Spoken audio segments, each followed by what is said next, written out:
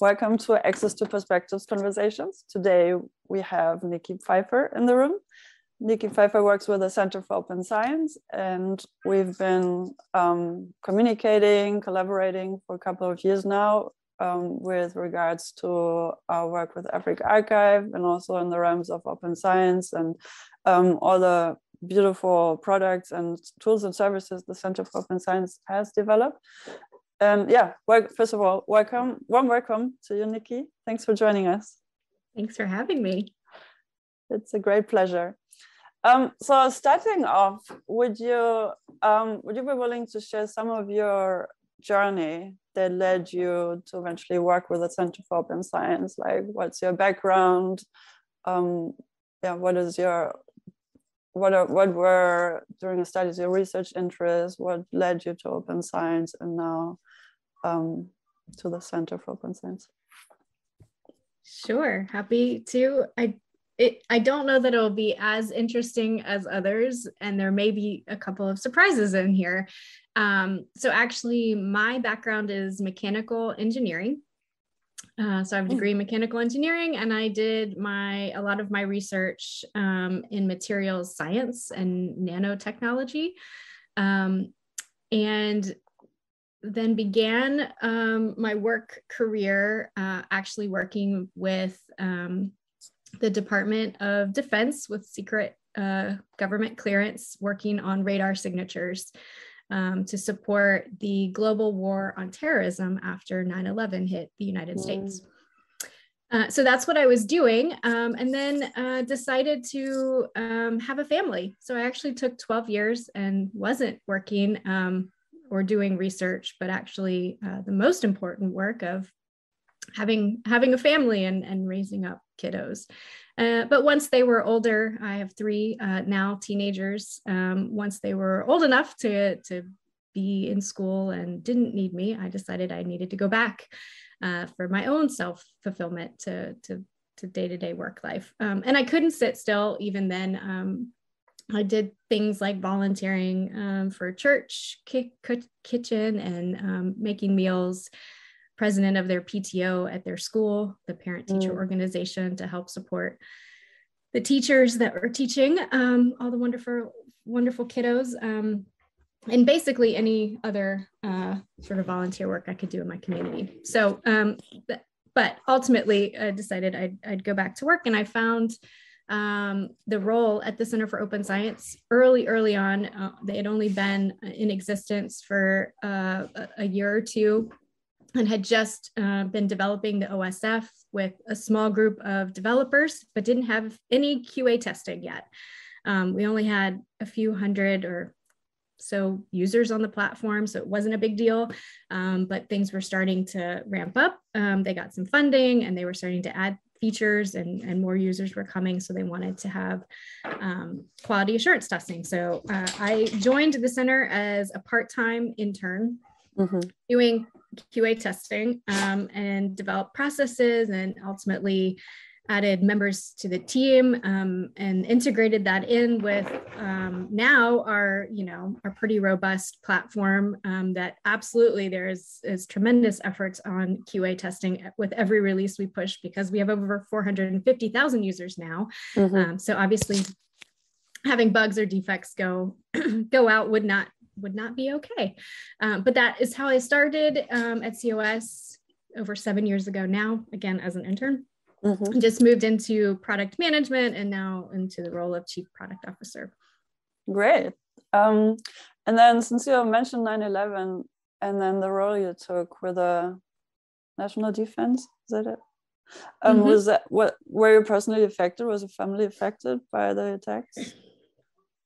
Uh, no, I didn't lose anyone uh, that I knew or that um, was in my family during mm. that. It just it changed the way of life yeah, here in the United the States. Yeah, yeah, sure. yeah. It definitely changed things and something that um, you know I just had passion to to help um, yeah, to help solve and and and make sure that everyone was safe across the world, really, because U.S. has such a presence in the in the whole world around mm. um, security and and safety. So, and thinking back now, like the work you did then and there for that purpose, and now the work that you've like that you did studying at the Center for Open Science and what you're doing now like when it comes to talk about talking about career development and transferable skills was there anything in particular that you find you could apply to the new job the new setting anything that stuck out um, I mean, there's a there's a few things. I mean, I think some of it is just an engineering mindset for for problem solving and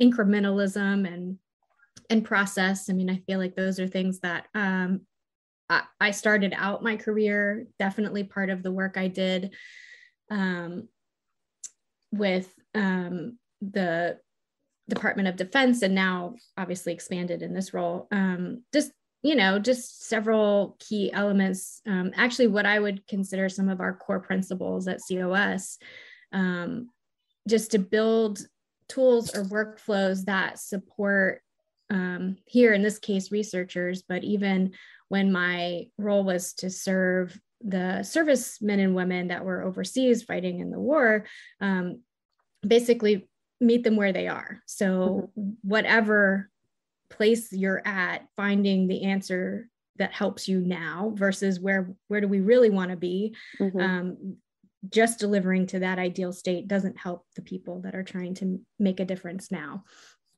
um, and then being really inclusive um, to all communities. I mean, that's something we're doing at COS with OSF, but that's also the case when you're providing intelligence for the government. Um, because again, we have lots of allies across the world. So, you know, just even thinking about what, what tools or sophisticated instrumentation they may or may not have, making sure that it's something that supports anyone um, who might need this this this intelligence essentially mm-hmm. um, and then to add efficiency and and not burden um, so again just thinking about how things are delivered in a way that um, you have everything you need to to interpret it and understand it um, that intelligence but also the same thing um, with the tools for for researchers and practicing open science um, just to make it more efficient less repeated steps and, and duplicated efforts uh, along the way, I think really mm. help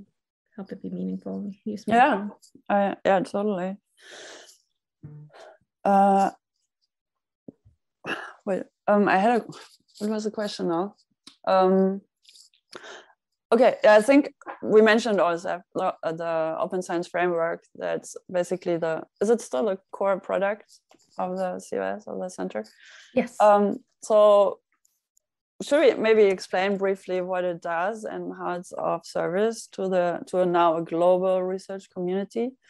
Um, it's basically it's it's an archive and also more than that. It's for documenting the whole research workflow and that's like um, going beyond the mere archiving of data and and uh, manuscripts.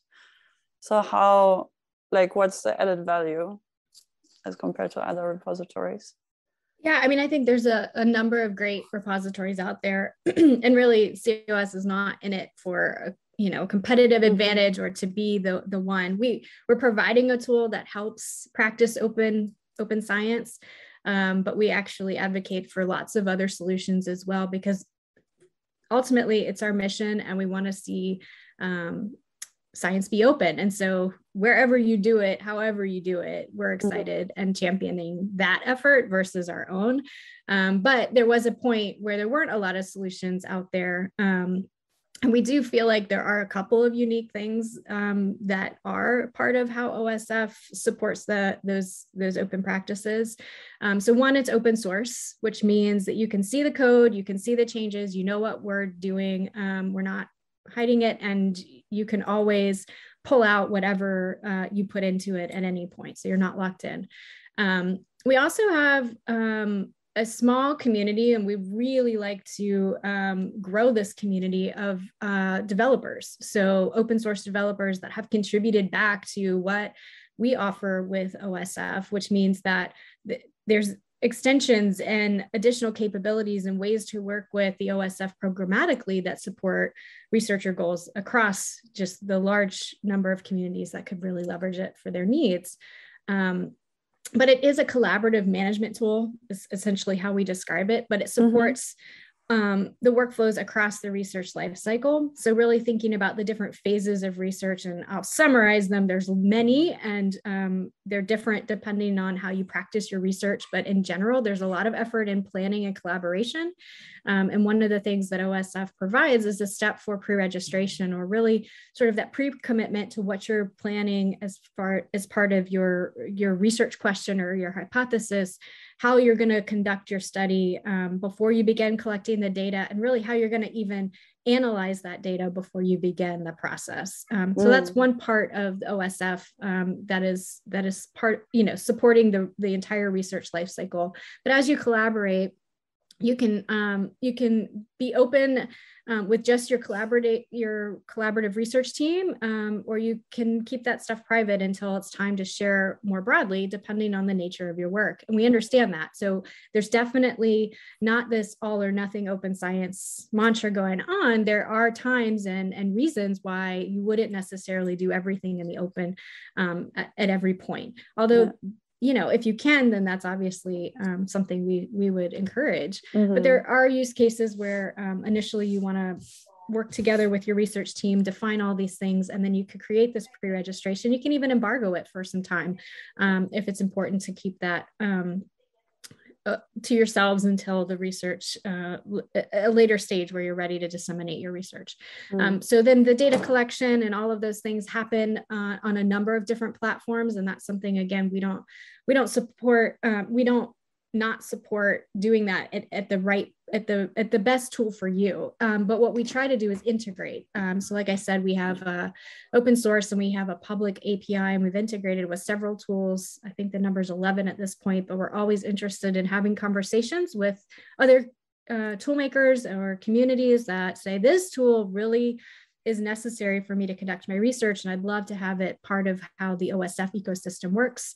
Um, mm-hmm. um, and a lot of times it can happen without um, incurring the maintenance and sustainability cost of that um, direct integration. And it's something most of the time you can just use the api to meet your needs but that's always a conversation we'd love to have with um, with communities. And then um, beyond that you know there's sort of the reporting. Once you finish your study there's the need to really report out your findings. Um, and if you've pre-registered it's really um, critical to actually say this is what i said i was going to do and, and that is what i did. Or actually real life happened and these things are actually what happened um, but to share that transparently and then to share all of the outputs of your research um, so that they're linked together they have mm. dois they're archived and there's something that if i um, find your data in a in a in an article if i want to follow that back and trace to some of the other aspects of the data dictionary or the protocol that went into that study, all of those pieces can be connected using the OSF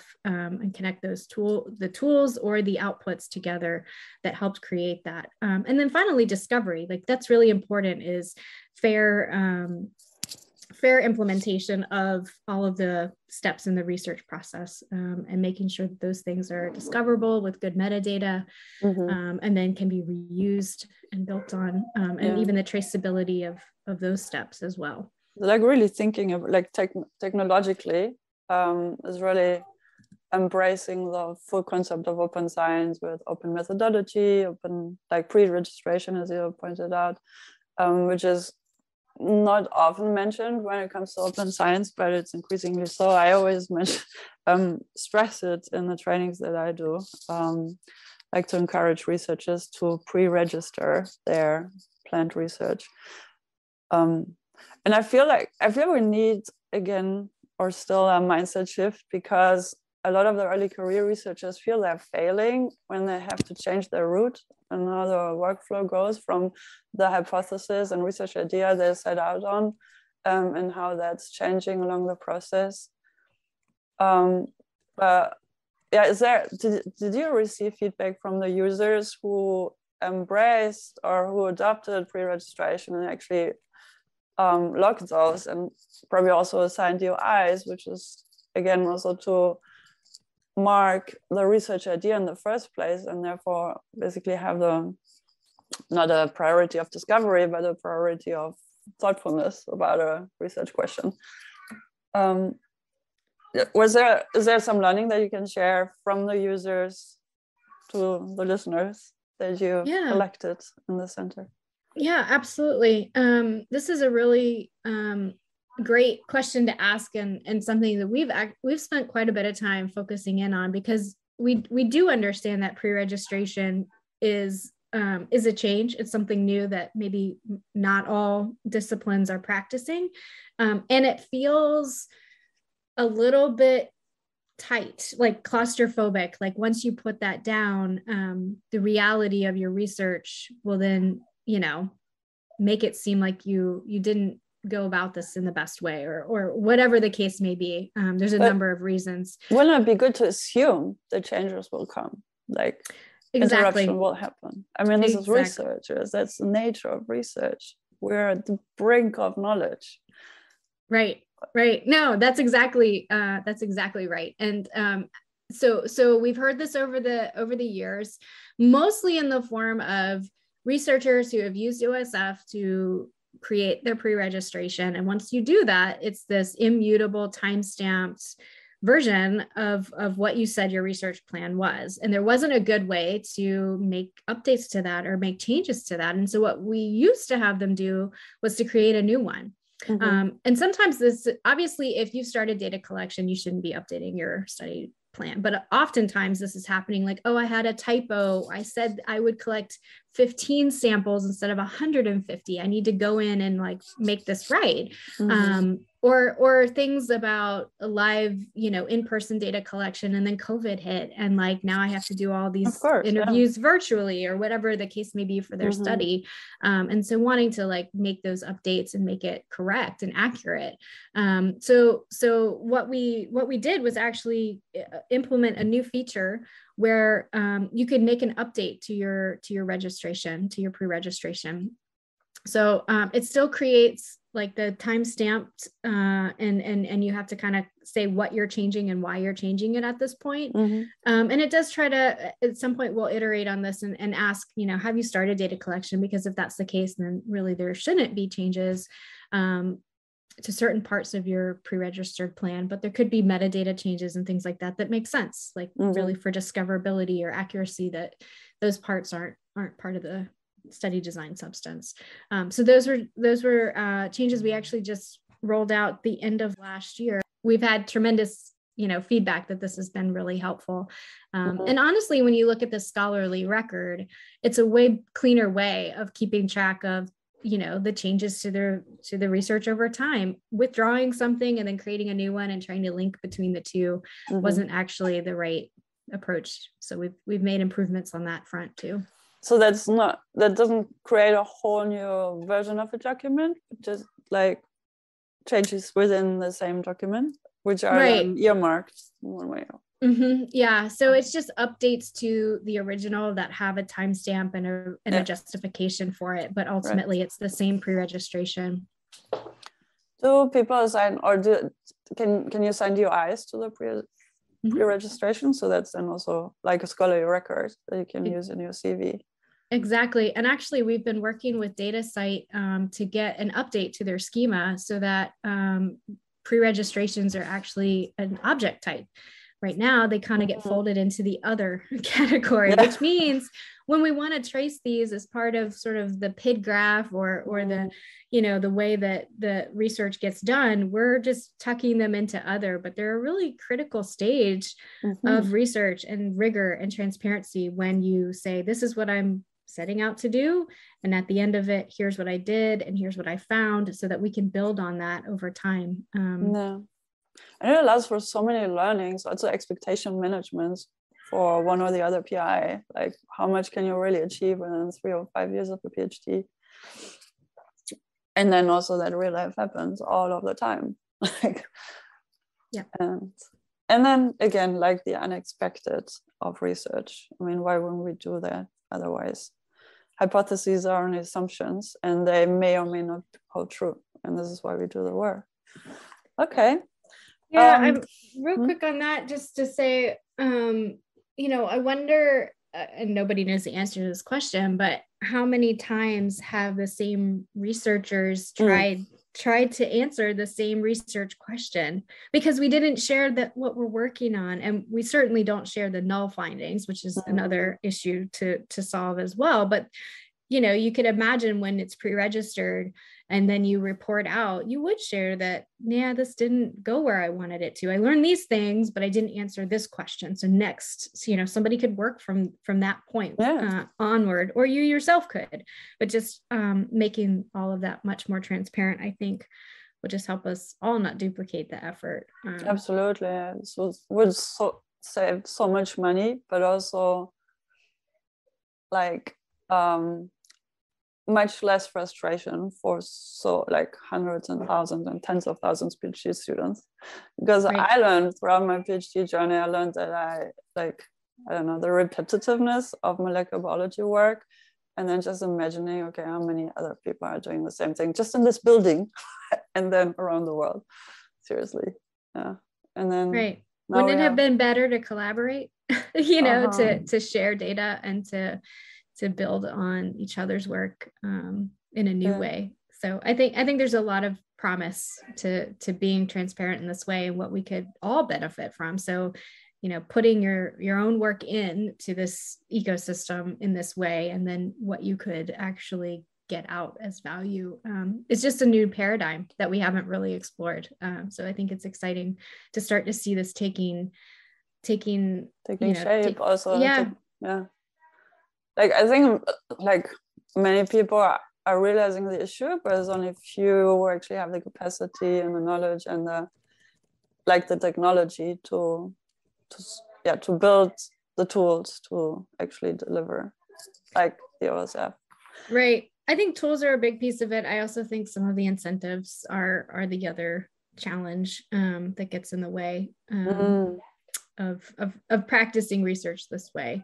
Um, so yeah, we have another episode coming up um, where we talk about values aligned research and, and of course transparency, which is provided by sharing the pre-registration is a key component. Um, yeah, we need all of that. And then as if DORA is doing its part, but it's it's surprising, like for us who work in the open science ecosystem, like at the core of it, seems like, and I don't know how many people we are, maybe a couple of hundreds. And, and then there's so many others out there who have not heard about the San Francisco Declaration of what is it? Open no of research assessment. Mm-hmm. Um, what's coming? I mean, there's a lot of signatories. The other question is then how's it gonna be implemented institution wise? Progress. Progress is being made, and we no. keep pushing. No it is. It's exciting to see that um, for sure. So yeah. so not saying we're not we're not making that progress. I think yeah. it's definitely happening but we're not we don't want to stop either. I think there's further to go. And now for the nature of um, talking about the global research community and your experience of working in the center for open science how have how you're experiencing um, the tools and so and and products that are being developed being picked up around the globe and how how do you see like like i like the term um or i keep using the term global research equity like because i have a firm belief that if all of us would increasingly or like fully embrace and practice open science meaning transparent good research practices throughout um, then we could, and within a decade of years, really could achieve research equity around the world. And I think like really the Center for Open Science and towards like the OSF are contributing and facilitating that. Do you, do you also see that from inside? And also the conversations we keep having in consortia of all kinds of sorts yeah no i definitely think pro- yeah, progress is happening. There's there's global use of tools like osf um, for practicing open science which is fantastic to see. I'm i'm i'm usually more critical when it's when it's my own work and so i'll just i'll just be critical about areas i want to keep advancing um, obviously, language and translation barriers still exist. And I think that that is going to get in the way if we don't start to solve for that. um, and and and access right so osf is free for researchers it's it's a tool that anybody can log in and discover what's in it without having an account um, but then also can create a very simple free account and start sharing their research publicly so i think um, in that way we've we've certainly re- eliminated a barrier right um, but then i think you know being able to um, translate and and and and know that the data protections and things are applied in the right ways for the content that researchers mm. are applying i think those are the areas that still need to keep evolving to support this global sort of equity that you're speaking of and something we certainly are are constantly working on um, but you know i think licensing and um, again some of the data protection work um, still i think it's just it's a place we're still going to need to spend some time mm. in understanding i know we together have been working to try to solve for um, storage on the continent of africa for data and, and researchers to use and that's been tricky it's been it's actually mm. been um, it sounds like it should be an easy thing to solve but we've had um, a harder time really finding the resources and the and the partner organizations who have the mandate for the whole continent in this case. Right. Yeah.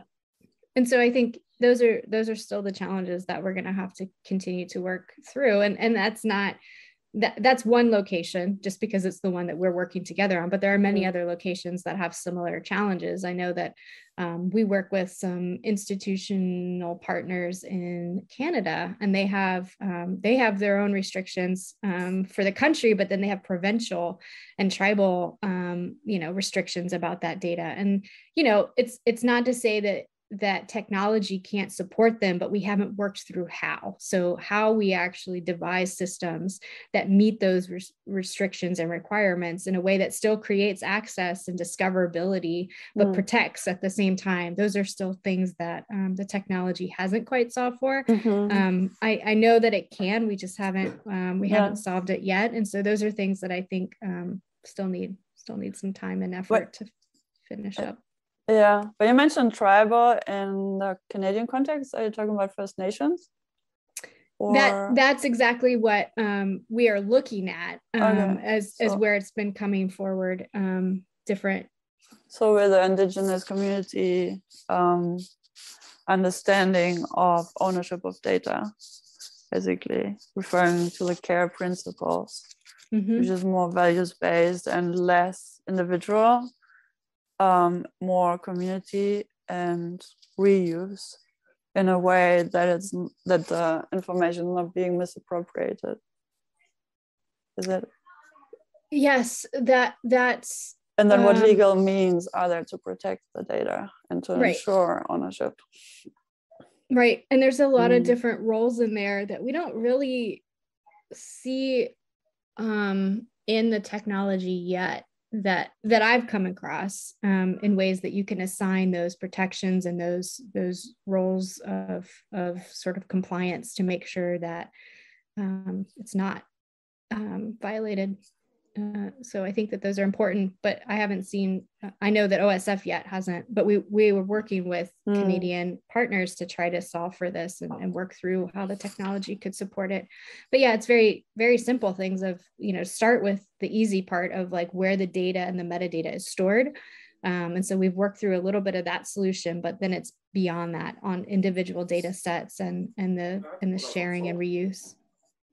Yeah, um, I, I like we had we had an episode with Laure Haak, the former director of ORCID, and she's been working on a project called Local Contexts, which was is also investigating these challenges, or yeah, I know, challenges in a yeah technology wise. Mm-hmm. I'm, I'm trying yeah trying to phrase it positively, but our remaining challenges, yeah. Um, so also on that end, I think progress is being made, but it needs to be um, it needs to be assessed on yeah not only country level but really tribal level if it works for that particular community that's concerned, and how the exchange between the researchers, the academics, and the the tribal communities occurs to what extent and yeah. Um, okay well, it's yeah, that's really a lot to consider for, um, but a lot of exciting and also challenging, but positively challenging, and uh, yeah, it's it's good to to realize that we we actually do make progress, and there's lots of learnings to be made across organizations and in the also applying. I feel like we're applying the FAIR principles we mentioned it fair a few times in this episode without really um, explaining back what it means to listeners who might come in um, new. But we've covered it in previous episodes. So fair as in findable, accessible, interoperable, and reusable when it comes to research data. But um, I feel it's also applicable, or I think we can agree it's applicable also to research manuscripts and also broader context, uh, con con concept, concepts and con yeah, concepts in this sense. Um,